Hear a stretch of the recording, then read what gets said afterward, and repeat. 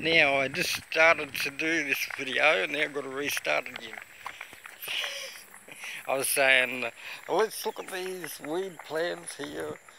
There's nothing new. At least I can see there's nothing new. I've got to pretend I just said that.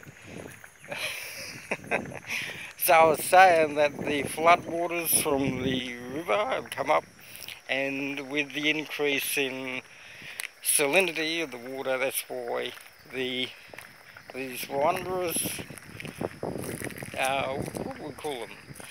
The algae, no, no, the, the low oxygen level creates the environment needed to grow these lily pad things, whatever they are. oh, this, this tree here looks like it's about to fall down. Hang on, let's have a look. Oh yeah, it is. Yeah, this one's the next one to fall. Yeah, the next one to fall. Of course, this one is is well positioned. It, they won't fall.